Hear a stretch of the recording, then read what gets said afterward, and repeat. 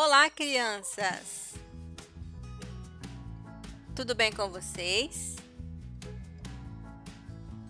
Hoje é dia 11 de maio do ano de 2021. Vamos ao nosso calendário?